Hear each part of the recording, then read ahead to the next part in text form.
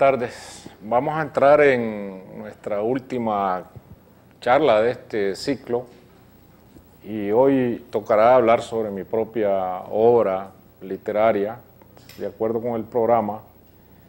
en eh, este segmento que yo he llamado Paisaje Personal, la cocina de mis propios libros. Para hablarles de mi experiencia personal de más de 40 años en este oficio, quiero empezar por recordarles otra vez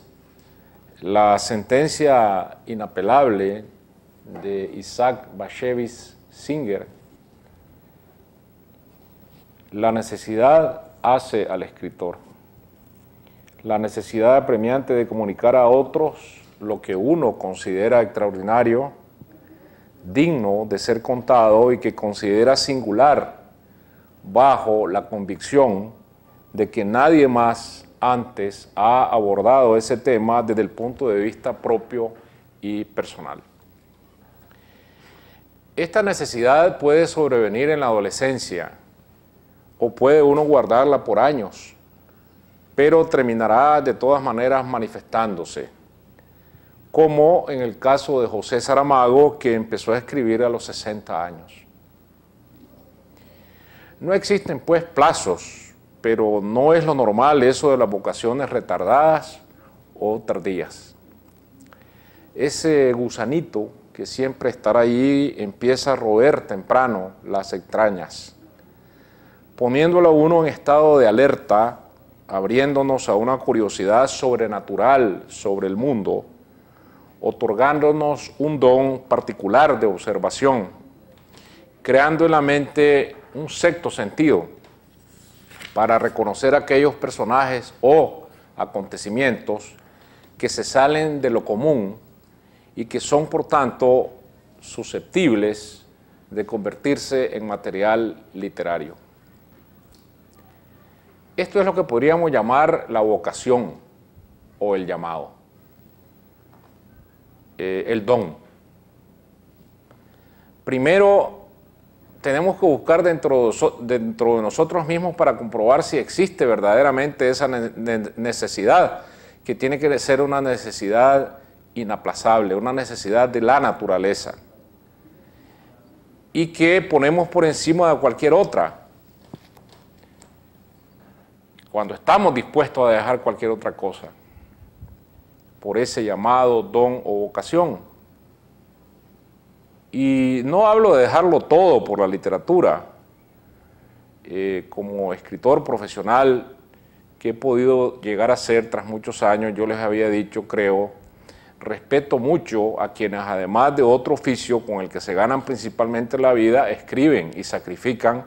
las horas de ocio o los momentos con la familia para encerrarse en el estudio a escribir después de un arduo día de trabajo pero siempre hay que escribir. Y vuelvo a repetirles que los libros que perduran no se hacen ni en las cantinas, ni en los cafés, ni en los salones de billar, ni desperdiciando lo que imaginamos como materia futura de un libro en pláticas con los amigos, también se los había dicho. La escritura es un asunto de soledad y de disciplina, porque las musas no son deidades complacientes, sino dísculas y huidizas y hay que saber convocarlas. Y a lo mejor solo descienden tras horas frente al teclado de la máquina o de la computadora, muchas horas estériles. Y cuando no descienden del todo, entonces hay que dedicarse a corregir lo escrito, pero siempre hay que trabajar, no valen los pretextos. La curiosidad por los libros en la infancia, que luego se convierte en necesidad, porque la lectura para el escritor también es una necesidad apremiante, paralela a la necesidad de escribir, es una característica esencial de la vocación literaria. Los lectores voraces generalmente están tocados por la gracia. Yo aprendí a leer antes de los cinco años y cuando mi padre me llevaba en sus viajes de compras a Managua, desde mi pueblo natal, Mazatepe, porque tenía una tienda de abarrotes y debía surtirla, según decía él, en su lenguaje. Desde el taxi yo leía en voz alta los rótulos de los negocios en las calles por donde íbamos pasando. Creo que desde entonces guardo esa fascinación por las marcas y los anuncios comerciales de los viejos tiempos que forman parte de la imaginería de mi escritura. El primer libro que leí de niño fue Genoveva de Brabantes, en una edición ilustrada que me habrán regalado en algún cumpleaños. Pero no fui desde esa edad el lector voraz de libros de que yo mismo estoy hablando. No leí ni La isla del tesoro de Stevenson, ni Sandokan de Emilio Salgari, libros que por lo general uno encuentra en las listas que muchos escritores hacen de sus primeras experiencias de lectura de antes de los 10 años cuando se les pregunta. Tenía más de 12 años cuando una señora de mi pueblo, una hermosa señora de risa franca y agradable, consintió en abrirme las puertas de la vitrina en la que guardaba sus libros y así entré en la lectura de Los Miserables, El Conde de Montecristo y Los Tres Mosqueteros, impresos a dos columnas en unas ediciones de clásicos de la editorial Sopena Argentina. Pero un primo segundo por parte de mi madre, de pelo ensortijado y vivaces ojos negros, que se llamaba Marcos Guerrero y que luego se suicidó. Tenía en la casa ruinosa donde vivía solo, con sus gallos de pelea, una biblioteca guardada debajo de su cama en un cajón de pino de los que traían jabón de lavar. Y un día me prestó, bajo juramento de que se trataba de un trato clandestino, una copia mecanografiada de una novela prohibida, La Condesa Gamiani, y que solo muchos años después averigüé que había sido escrita por Alphonse Daudet. Fue una delicia para un adolescente que despertaba a la sensualidad al mismo tiempo que a la literatura repasaran aquellas páginas que el apurado mecanógrafo había salpicado de errores de ortografía, las escenas de desenfrenos a que se entregaba la condesa Gamiani, no solo con varios hombres al mismo tiempo, en alcobas, prados, boscajes, sino con perros de casa de no menos voraces apetitos sexuales. Pero insisto en que mis lecturas fundamentales fueron las historietas. Y cuando el día no me alcanzaba para leer las que alquilaba o me prestaban, me la llevaba a la cama y cumplía mi oficio emboxado bajo la sábana, alumbrando sus páginas coloridas con una lámpara de mano para que mi madre no me recriminara por el desvelo. Mi preferido era el fantasma en su trono de la cueva de la calavera en lo profundo de la selva, rodeado por su guardia de enanos Bandar, y también Mandrake el mago y el llanero solitario y el capitán Marvel, que volaba lo mismo que Superman y es su antecesor, pero, pero que me resultaba más atractivo porque su otro yo no era un periodista tímido, sino un niño lisiado, voceador de periódicos en las calles de Buenos Aires, un canillita porque esa historia llegaba desde Argentina y yo aprendí desde entonces esa palabra. Y este héroe asumía su condición con solo pronunciar la palabra, la palabra mágica Shazam, formada por las iniciales de Sansón, Hércules, Atlas, Zeus, Apolo y Marte, si no recuerdo mal. Debo haber empezado a leer historietas muy temprano porque mis primeras narraciones las escribí dibujando. En el piso de la tienda de abarrotes de mi padre, dibujaba con una tiza historias cinéticas que seguían la línea de un argumento que iba creando a medida que avanzaba ladrillo a ladrillo con la mejilla pegada sobre el piso y que la empleada de la casa iba borrando tras de mí con el ampazo, haciendo de esto una suerte de arte efímero. Pero con la tiza en la mano ya estaba dentro de esa necesidad de contar. Pero además de las historietas, tuve otra influencia importante que ya les mencioné, que fue la de las radionovelas. No olviden que las influencias se definen por la fascinación que determinados géneros ofrecen sobre uno. Ya les conté antes la historia de los mandados que mi padre me encargaba mientras se transmitía el derecho de nacer. Pero oía muchas otras radionovelas y aquí sí, entre ellas una adaptación de Sandokan de Emilio Salgari. Y lo que más me fascinaba era el poder soberano de las voces, que se convertían en personajes por sí mismas, con autonomía de los rostros y figuras de los actores dueños de esas voces. Primero las radionovelas llegaban a Nicaragua desde Cuba, pero después se creó el famoso cuadro dramático de Radio Mundial, dirigido por un viejo actor español que se había quedado perdido en Managua al disolverse la compañía teatral El Encanto, que andaba en gira por Centroamérica. Su nombre era Mamerto Martínez. Lo cuento porque fue entonces cuando gané mi primer premio literario. El cuadro dramático representaba también sketches humorísticos y pedían a los radioescuchas que enviaran argumentos para ser escenificados. Yo envié uno, fue seleccionado y me gané un premio que debía recoger en los estudios de la radio en Managua. Mi padre, envanecido por mi triunfo, dejó que fuera a Managua en busca de aquel premio y entonces pude entrar al santuario de la Radio Mundial por primera vez y toparme en los pasillos con los míticos actores del cuadro dramático. Y así llegué a la oficina del director, quien me recibió con todo entusiasmo y me alabó,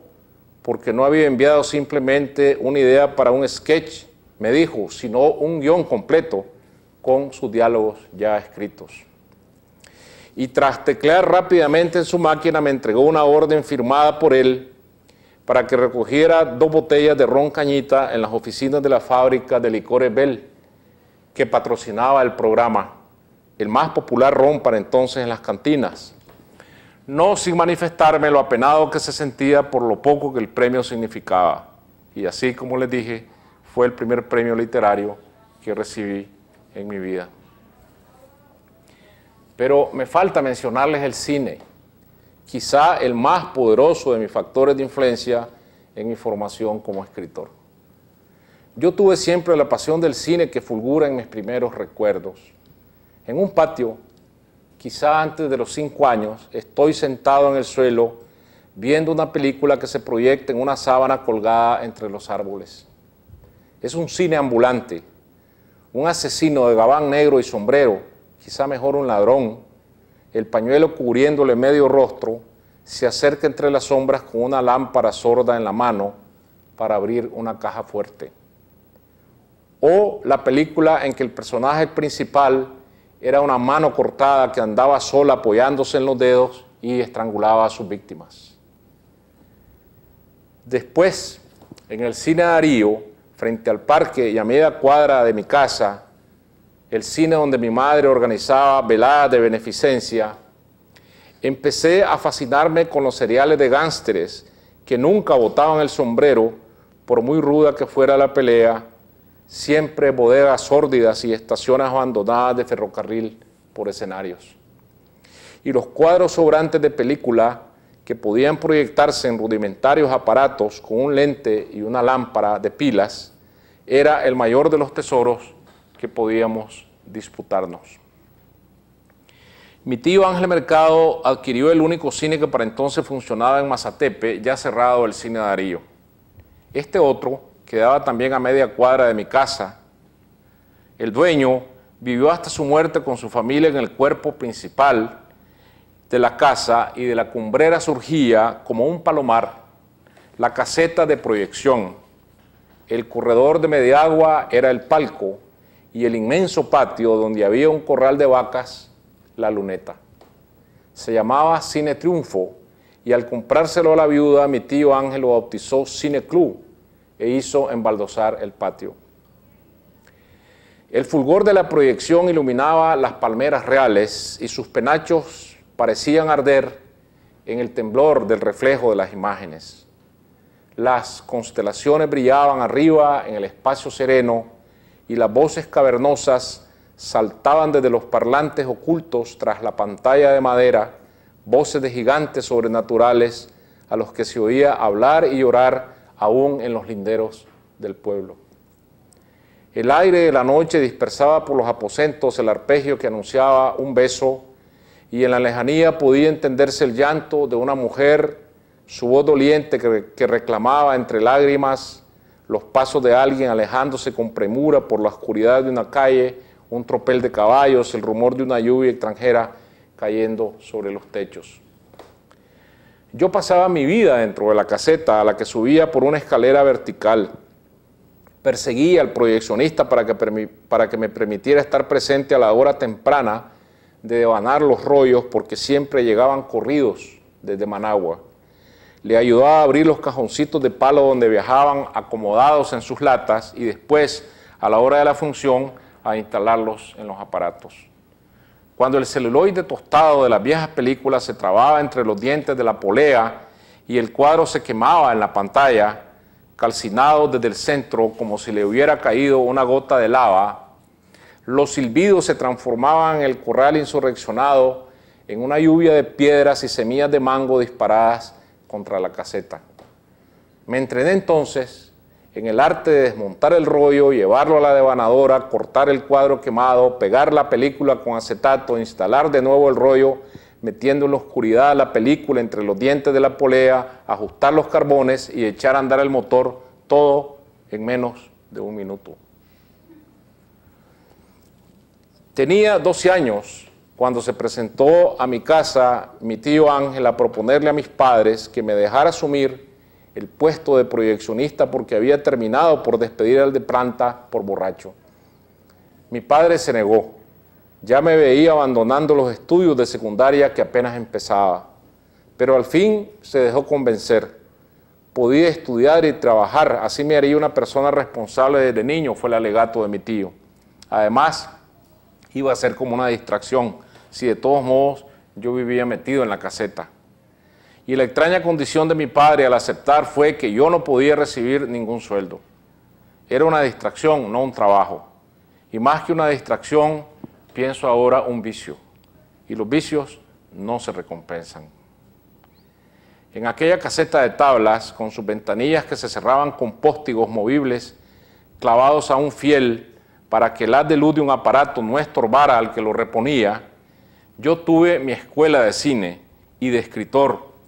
porque la forma de narrar se emparentó desde entonces en mí con los encadenamientos, las disolvencias, los planos, los retrocesos en el tiempo, los diálogos. Me asombra cuando en medias noches de desvelo, repasando en la televisión los canales del cable, me encuentro de pronto con escenas y rostros de aquellas películas y puedo identificarlos al instante. Vi esos rostros y escenas innumerables veces, vigilando la corrección de la proyección y listo a cambiar de aparato al final del rollo sin sobresaltos de la imagen. Y esas técnicas ingenuas, la forma de indicar el retroceso en el tiempo, por ejemplo, con una lluvia de hojas de otoño, o imágenes que se disuelven en el agua, o el vuelo apresurado de las páginas del calendario, las primeras planas de los periódicos que se acercan uno tras otro al primer plano, superpuestas al tren a toda máquina para anunciar las giras artísticas triunfales, me han, seducido siempre y he usado algunas de ellas, algunas de ellas en mi novela Margarita está linda la mar. Mi tío Ángel escogía las películas en las agencias distribuidoras de Managua y las anotaba en una agenda. En el rango más amplio estaban las mexicanas, las de Charros, Jorge Negrete, Pedro Infante, Luis Bailar, las cabareteras de Antonio Badú, López Moctezuma, Rosa Carmina, Tongolele, María Antonieta Ponce y Ninón Sevilla, las cómicas de Cantinflas, Tintán y su carnal Marcelo, las lacrimógenas de Emilia Guiú, Andrea Palma, Miroslava, y sus galanes Emilio Tuero, Arturo de Córdoba, entrenados más bien para los dramones de don Jacinto Benavente, y los espléndidos churros que Luis Buñuel rodaba en México en su exilio desde la ilusión viaje en tranvía con Lilia, Prado a El Bruto, con Pedro Almendares y Katy Jurado, la misma morena de ojos encendidos que está en la diligencia de John Ford. Y es en El Bruto donde hay un gallo fotografiado por Gabriel Figueroa que mira con su ojo fijo la escena de un crimen que solo puede ser un gallo de Buñuel. El cine norteamericano era popular en los pequeños pueblos como, como Mazatepe, a pesar de que las películas no se doblaban y se presentaron siempre con subtítulos, con lo que los espectadores, muchos de ellos analfabetas, se perdían el argumento. Pero pasaron por mis manos las películas de vaqueros de Tim Holt y oí, muchas veces en la banda de sonido la frase salida de sus labios, Tiki's Mouse, al sacar la pistola para hacer lo que el malo, para hacer que el malo levantara las manos. A Mickey Rooney, bajo su gorra de jockey en el hospicio de Omaha, rebelde a la mansedumbre del padre Flanagan, Spencer Tracy, en Boys Town. A Elizabeth Taylor y June Allinson en Mujercitas. Títulos que me encantaron como Qué verde era mi valle y en trozos de la memoria Judy Garland cantando en uno de aquellos musicales de vistosa utilería y colores falsos una tonada que terminaba muy alto en la palabra Idaho que se prolongaba sobre el crescendo de la orquesta. Y Spencer Tracy otra vez en Las campanas de Santa María, una película que sigo recordando con extraña melancolía, no sé por qué, como si fuera un símbolo de los misterios y las evocaciones del cine en mi vida desde aquella caseta en forma de palomar. También Milagro de la Sensibilidad de mi tío Ángel, por mis manos pasaron las latas de Rashomon,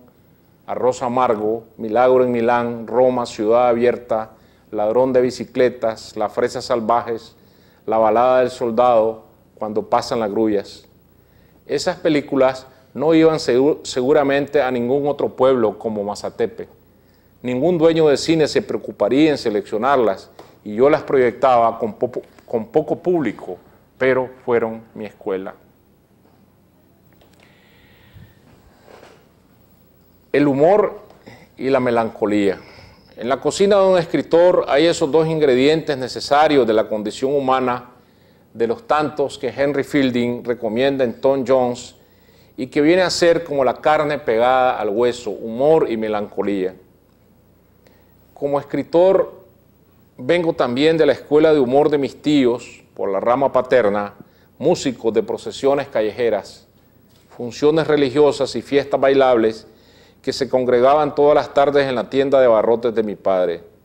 Del recuerdo de esas tertulias partí para escribir un baile de máscaras que es un homenaje a todos ellos.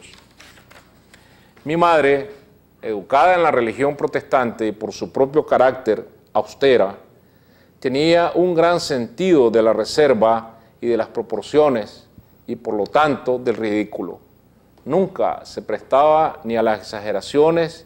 ni en la risa, ni en el llanto, al contrario de mi padre y de mis tíos músicos, que no temían para nada eso que mi madre consideraba el ridículo. Y en la tienda, a la hora de las tertulias, los comedimientos no tenían ningún lugar y se lo dejaban todo a la burla y muchas veces a los sarcasmos despiadados. Empezaban burlándose de ellos mismos y esa fue la primera lección de mi escuela de humor que para reírse de los demás hay que empezar por reírse de uno mismo. A la rueda vespertina de la tienda solía sumarse mi abuelo Lisandro, músico también, maestro capilla de la iglesia parroquial, compositor de misas de requiem y de valses galantes y mujeriego empedernido, que se reía de algunas bromas y reprochaba otras, ya estaba bastante viejo. Se quedaban los compradores llegaban de la calle visitantes, a veces el padre Fabio, el cura de la parroquia, a quien mis tíos compadecían a veces y se burlaban de él otras, pero en sordina, por su fama de homosexual. Un solo holgorio de conversación que terminaba cuando las campanas de la iglesia llamaban al rosario de las seis, hora en que los músicos recogían sus instrumentos para irse a cumplir con su oficio y cuando el padre Fabio concurría a las tertulias lo atrapaban en discusiones religiosas provocadas bajo disfraz inocente.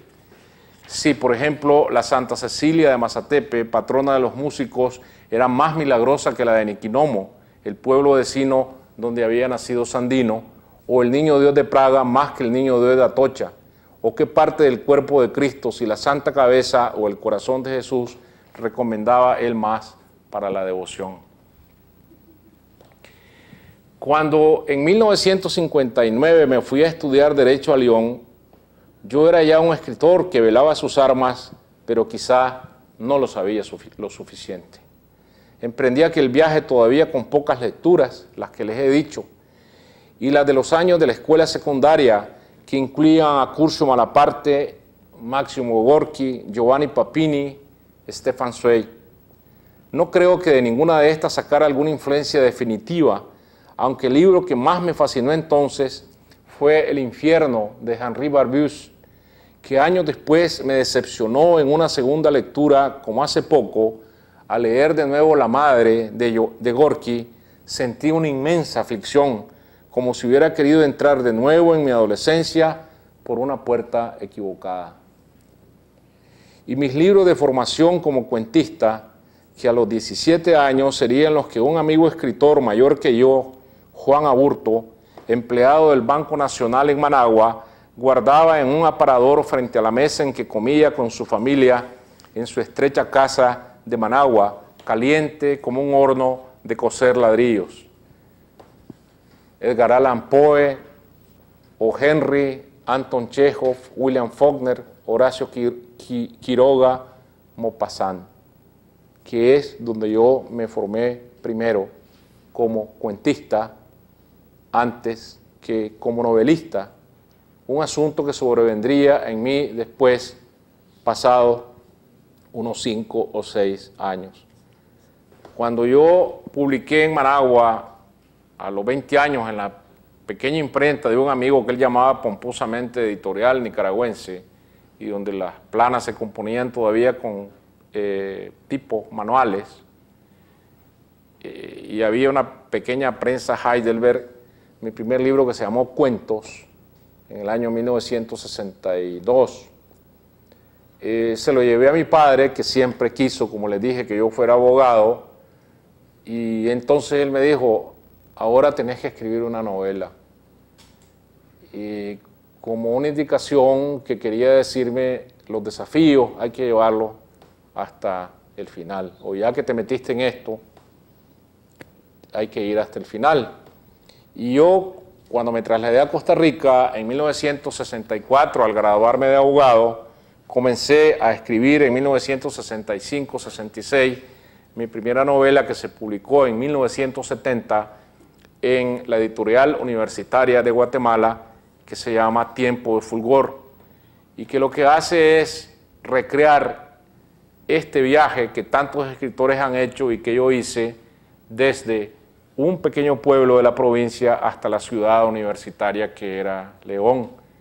Eh, solo que mi personaje de esta novela es un estudiante que en el siglo XIX va a estudiar medicina en un, de un pequeño pueblo parecido a Mazatepe a la misma ciudad de, de León. Pero en mis primeros cuentos, publicados en 1962, al tomar en las manos de nuevo este libro, eh, yo lo que encuentro es que yo voy dejando atrás la tendencia vernácula en la escritura. Los primeros cuentos del libro, uno o dos de ellos están todavía, son parte todavía de la temática del campesino, de la temática de las fiestas populares, de esta temática que dominó tanto al cuento corto en América Latina y después se van convirtiendo ya en temas urbanos y en temas de otro tipo de, reflexión que tiene que ver con el destino del país y con la identidad de, Nicaragua y que ya dejan atrás toda la eh, textura eh, eh, vernácula o la textura folclórica campesina. por supuesto que el rector de la Universidad de León, el doctor Mariano Fiallo Gil, que fue el primer rector de la autonomía que se conquistó en el año 1958. Eh, fue mi maestro en todo sentido porque él era escritor de cuentos también, era humanista, era literato, eh, y yo podía entrar a su biblioteca cuantas veces quisiera. Tuve la suerte de educarme en una universidad que tenía apenas mil estudiantes en total, distribuidos en cuatro facultades, odontología, medicina, farmacia y derecho, y por lo tanto este era casi un claustro, una universidad medieval donde los estudiantes podían conversar con los profesores en las esquinas de León, en los corredores de la universidad, y la enseñanza siempre era abierta, era permanente, y uno podía encontrarse al rector, sentarse con él en las bancas de la universidad, en los corredores o en la biblioteca, en estas largas conversaciones sobre muchísimos temas de filosofía, de literatura, y esta fue hoy de política, y esta fue, por supuesto, parte fundamental de mi, eh, de mi formación, la que yo recibí en la Universidad de León cuando fundamos en 1960, recién llegado yo a la universidad, el movimiento literario eh, Ventana. Estos pues son mis antecedentes como, eh, como escritor.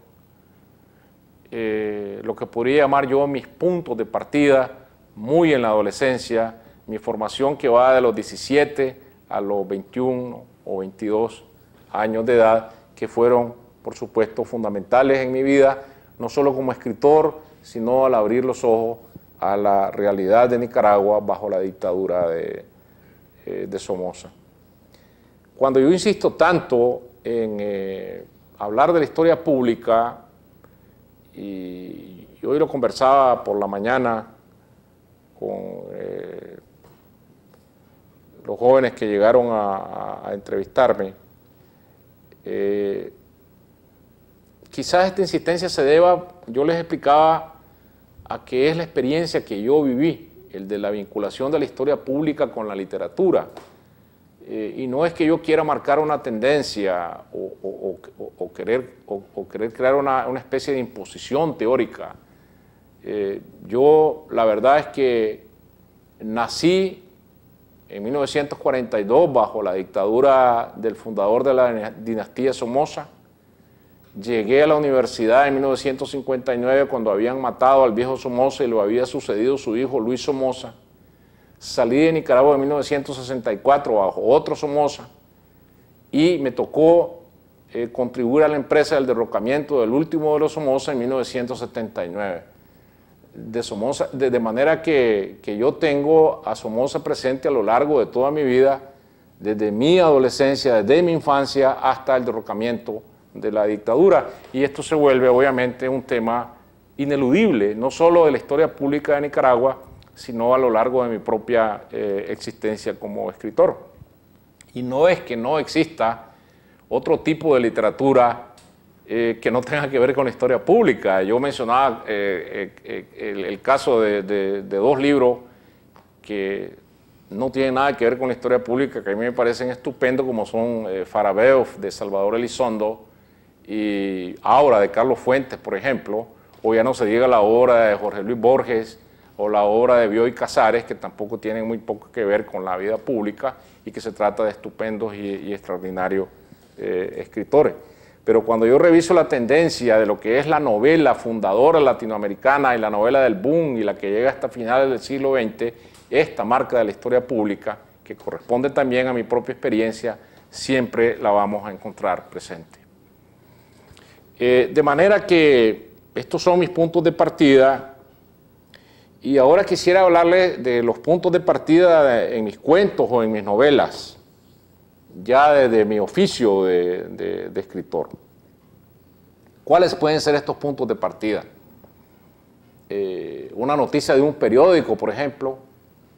Yo les he hablado de mi fascinación por la crónica roja.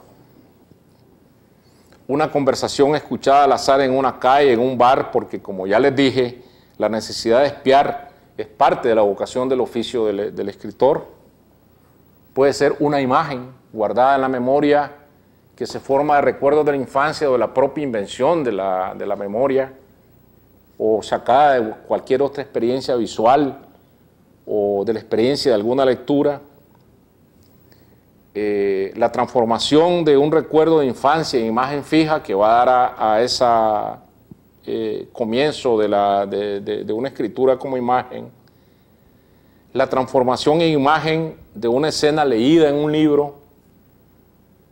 el ángulo en que uno mira una escena de la vida real y se le queda para siempre grabada en la memoria visual, como me ocurre a mí, por ejemplo, yo recuerdo a, los cuatro o cinco años haber visto eh, al otro lado de la, de, la, tienda de mi padre está el parque de Mazatepe y enfrente queda el cuartel de la Guardia Nacional, que era a la vez cuartel de policía, y una vez llevaron allí a unos avijeos, a unos cuatreros, con las vacas que se habían robado, y una de las vacas empezó a parir ahí en el descampado, en el solar, frente al parque, donde estaba presa el botín de los cuatreros. Eh, y ese parto de la vaca allí entre el lodo, yo nunca lo olvidé. Eso, eso, ha quedado profundamente grabado desde mi infancia, en mi, en mi, memoria visual, ver salir este ternero de la vaca envuelto en esta especie de funda de plástico transparente como de,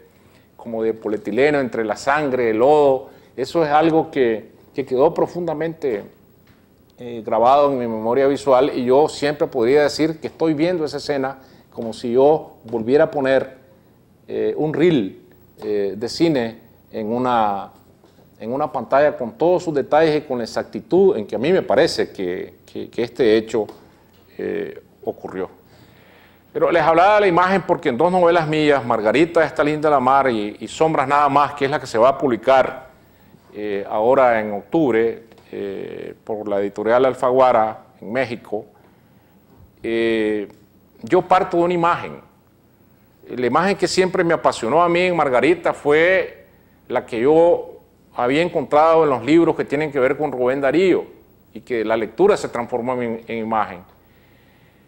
Y, es la imagen de un hombre de batón blanco ensangrentado que tiene en sus manos la urna con un cerebro y hay otro hombre vestido de casimiro oscuro con un bastón que trata de arrebatarle la urna en el empedrado de una calle mal iluminada. Y al final en el forcejeo a bastonazos, la urna cae al suelo, se quiebra, se derrama y el cerebro queda eh, eh, eh, en media calle,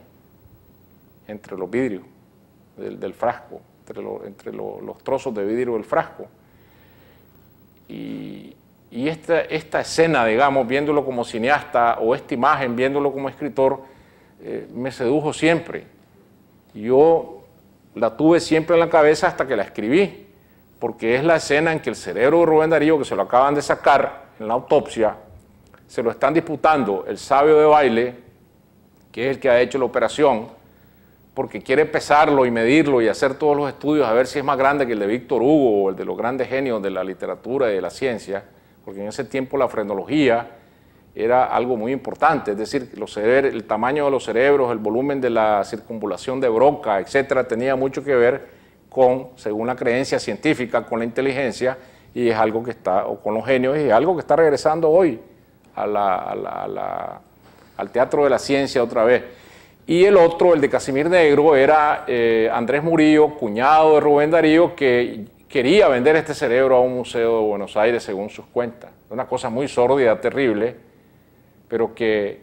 es un argumento, pero que también es una imagen, pero yo lo recibí en mi cabeza, no en forma de argumento, sino en forma de, imagen. O la imagen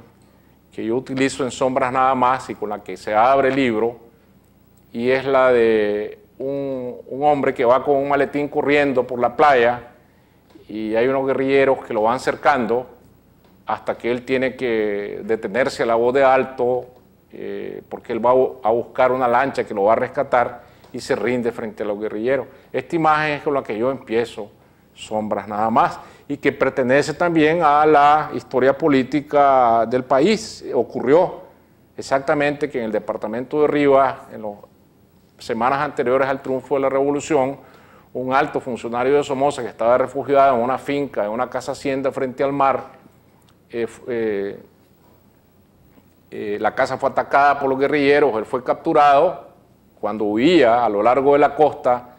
en espera de una lancha que iba a llegar a rescatarlo y antes de que la lancha pudiera llegar, él es capturado por, los guerrilleros que han llegado por él y es llevado a juzgar a un pequeño pueblo que se llama Tola,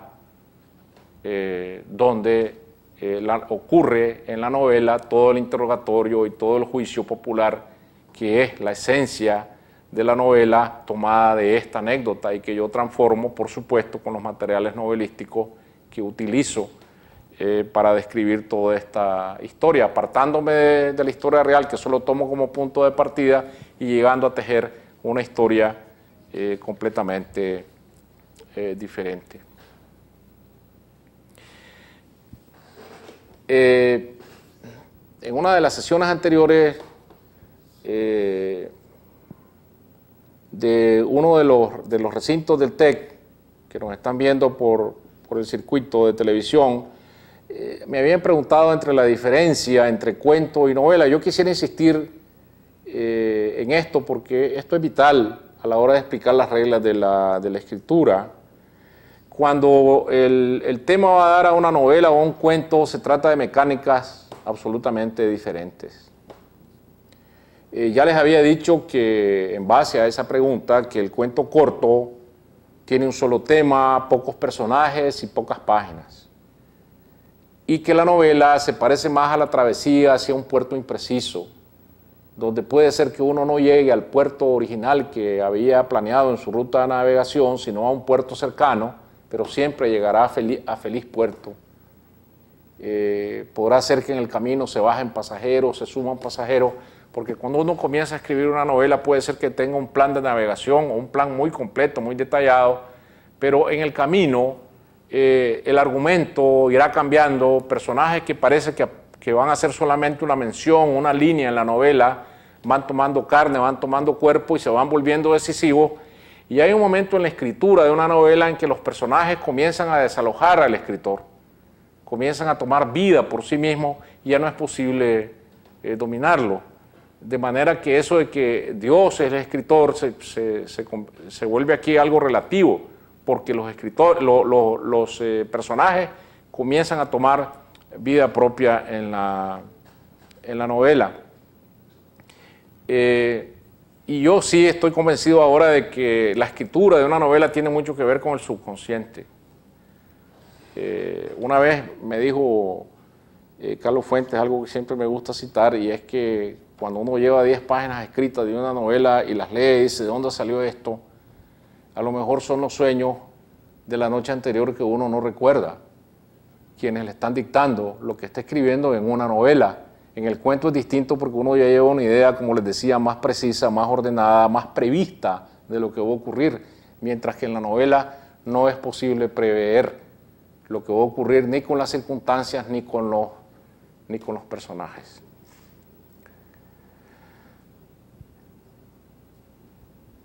También quería hablarles de, todo lo que se refiere a la construcción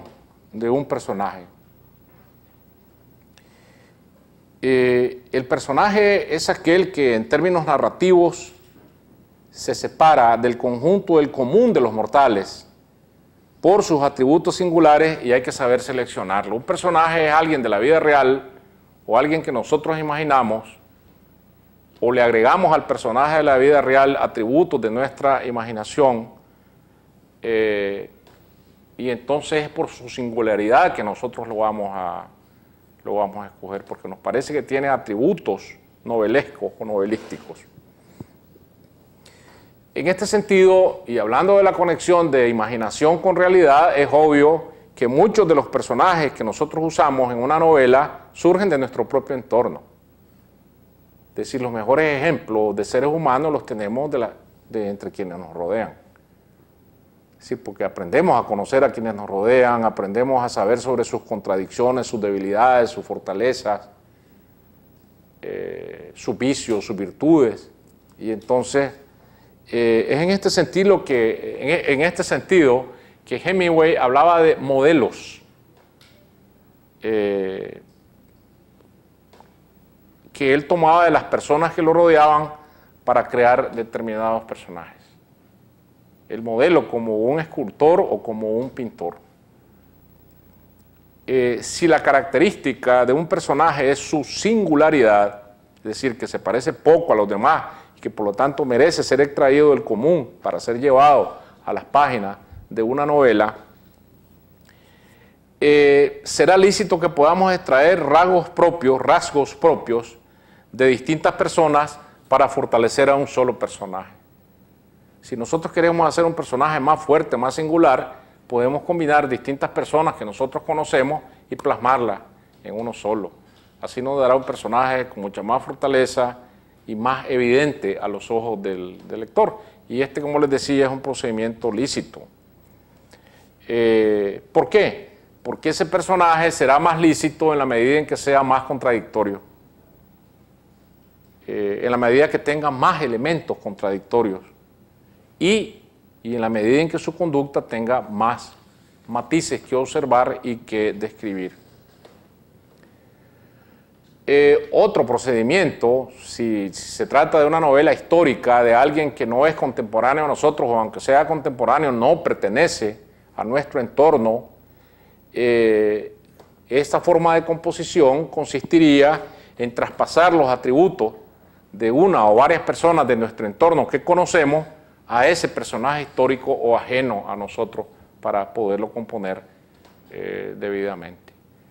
¿Qué tiene ¿Por qué esto es posible? Porque las condiciones de la naturaleza humana son las mismas. Y si nos dicen que un personaje histórico al cual nosotros queremos describir una novela era colérico o era demasiado débil de carácter, pues suficientemente conocemos a nuestro entorno nosotros, a personas coléricas o débiles de carácter que podamos usar como modelos para transponerlas a la composición de un personaje que es ajeno a nuestro entorno, pertenezca a la vida privada o pertenezca a la vida, eh, a la vida pública. Eh, luego está de por medio el, proceso de, investigación. Eh, recuerden que hablábamos de los dos métodos, el método Flaubert, el método Henry James, el método Flaubert cuando uno investiga exhaustivamente y el método Henry James cuando uno parte de una información básica hacia el uso de los recursos de la imaginación. Pero una vez que uno ha seleccionado un tema, tiene que abrir un proceso de, investigación eh, para copiar materiales documentales sobre ese, tema y saber a, a qué nos estamos refiriendo frente al lector y ganar frente al lector credibilidad en base a la verosimilitud o a la veracidad de lo que nosotros estamos presentando. Si, yo quiero escribir una novela sobre la masacre de Tlatelolco o uno de ustedes quiere escribir una novela sobre la masacre de Tlatelolco, sería imperdonable que nunca haya estado en esa plaza y la haya recurrido a pie y vea qué dimensiones tienen, cómo son los edificios de donde dispararon contra la, contra la multitud, o que no vaya a los periódicos de la época a leerse todas las crónicas sobre la masacre de Tlatelolco, lo que dijo la prensa oficial, o que no lea los libros que se han documentado, tantos libros sobre este hecho. Y lo que uno tiene que hacer es ir creándose dentro de la cabeza una atmósfera eh, visual y anímica de ese hecho. Y para comenzar a escribir una novela sobre un hecho determinado, uno tiene que estar absolutamente empapado de esas circunstancias. Es como si estuviera viviendo en esa época. Meterse dentro de los zapatos de uno de los estudiantes que marchaba ese día hacia la plaza de Tlatelolco o dentro de las botas de uno de los soldados que, disparó. Pero sería imperdonable que, que, uno comenzara diciendo la masacre de Tlatelolco que fue en el mes de marzo de 1968. Eso eh, sería imperdonable porque yo tengo que estar seguro en qué mes se dio y en el día que se dio, a la hora que se dio, cuántos muertos se estimaron, cómo fueron los hechos, para poder imaginar sobre ese material. Pero el menor descuido aquí es imperdonable porque el lector al darse cuenta de que le están dando gato por liebre no va a seguir adelante con la lectura. Y si el lector no sigue adelante con la lectura del libro, eh, ya se consumó la derrota del escritor. Los escritores son derrotados cuando en determinado momento el lector decide cerrar las tapas del libro y tirarlo porque no le interesa.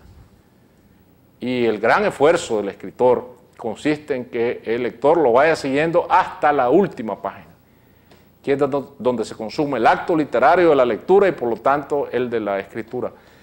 Si yo no consigo que el lector me acompañe hasta la última página, aunque le falten 20 páginas, y se aburra las 20 páginas, yo perdí la partida. Este es un recorrido completo. Y el mejor triunfo todavía, todavía va a ser cuando el lector diga, pero ¿por qué ya terminó? Ese es el triunfo definitivo. Pero porque este libro ya terminó, yo quisiera seguir leyendo más sobre esto. y entonces queda pendiente, intrigado, y, en la noche sigue pensando en estos personajes que lo siguen habitando dentro de su cabeza, porque entonces quiere decir que ya se dio un traslado de los personajes que estaban en la cabeza del escritor a la cabeza del lector, que es la sensación que yo tuve cuando leí El Conde de Montecristo. Y es la sensación que yo siempre vuelvo a tener cuando vuelvo a leer El Conde de Montecristo, que para mí es la novela perfecta. Como trama, como intriga, como sorpresa, como estructura, y yo se las recomiendo mucho. Es un esfuerzo de mil páginas, pero, pero vale la pena porque es una lectura sumamente amena y se aprende muchísimo de los mecanismos de lo que es la novela en eh, El Conde de Montecristo.